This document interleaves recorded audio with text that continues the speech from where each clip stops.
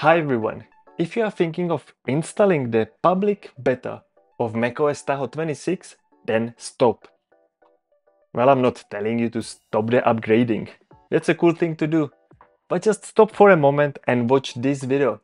Because I'm breaking down 10 essential things you should know before the upgrade.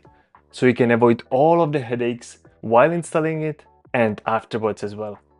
First up, what's actually new in macOS Tahoe? Quite a few things, starting with a big redesign. The new look with the liquid glass redesign is a big topic over the internet. Also, the AI-powered features might be smarter in macOS Tahoe, which I'm really looking forward, because AI basically became my personal assistant and I'm using it for many things. But I have made separate videos about the AI tools on macOS and also about all of the new things which are coming to the newest release so we don't need to waste so much time with it in this video. I recommend you to watch it after. Second thing you should check is the compatibility, because not every Mac is getting macOS Tahoe. Generally, all of the devices from 2020 should be fine to go. But to make it easier for you, I have created a whole PDF list with all of the compatible devices which you can download for free. I'll link it in the description of this video. Question is also when you can install the new macOS upgrade. Well, the developers beta is available already now, but unless you are enrolled in the Apple's developers program, you will not be able to install it.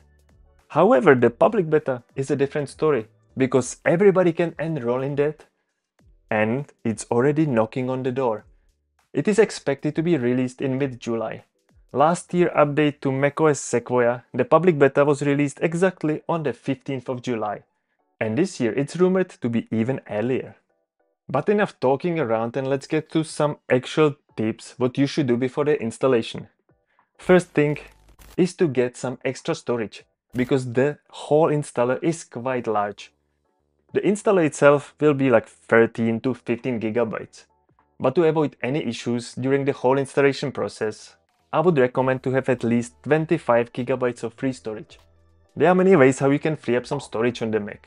I have made a lot of videos about this topic, which are quite well rated on the channel. And I'm already working on the new updated version, which will summarize all of the new things and new updates on it. So if you are not yet subscribed, I think this is the time to do it. But back to upgrading. From the various sources and my own experience, the whole installation process takes around an hour. But it all depends on your internet speed and also on your device. On the older Macs, it might take a little bit longer and also, if you have slower internet, it will be downloading way longer. So don't make this in a rush, because you don't want to mess up anything during the installation process. That might lead to some serious issues. I'll be myself installing it soon after the public beta release, so I will take you through the whole installation process. But what you can do already right now is to make a backup. I'm not really a person who sits on backups everywhere every time. I don't regularly connect my time machine and I'm not very proud about it. But before making such an upgrade, and especially installing the beta software, you should definitely make a complete backup of your Mac. Betas can still be buggy and you really don't want to lose anything. It is unlikely to happen. Personally, I never had any big issues with any beta software from Apple. But still, it's better be safe than sorry afterwards. So now, are you ready to go? Then let's go to the Apple page.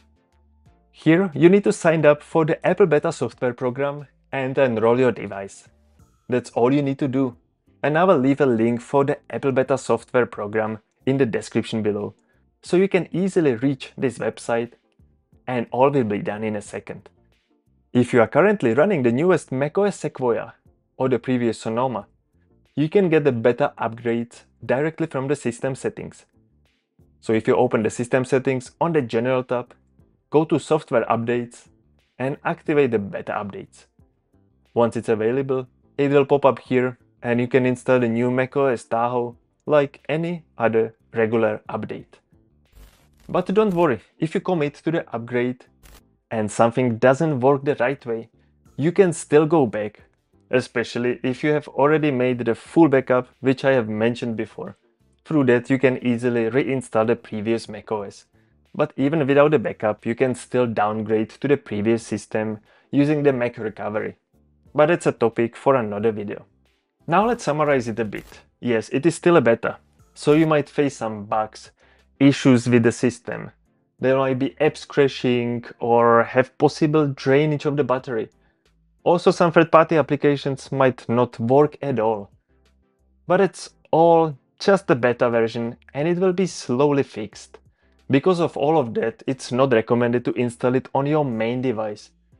But honestly, how many of us have multiple new Macs to play with? So you can install it on one and have another one on the old system. Me included. So once we actually decide to do it, we need to go all in. So if you don't hear from me for a couple of months, it probably didn't work out very well. But don't be scared. I don't think it's so bad as many people are saying. And as I already mentioned in this video, I never had any big issues with installing any of these public betas from Apple. So do I really think you should install the beta? Well, it's up to you. I'm not recommending anyone to do that. But if you love testing these new features before everybody else and have some extra fun, even the fact that throughout these beta softwares, you might see some different changes, designs, which will not even make it to the final version. So it's quite nice experience for a little bit of risk. But if you want to be playing it safe, there is no shame in it. The official version of macOS Tahoe will be released somewhere in September, so that's not so far from now. And in the meantime, I will take you through all of the new changes and new things in the system, and also tell you my experiences from the installation and how the system is going. So if you are subscribed to the channel, you will surely not miss anything. So I believe I will see you in the next video.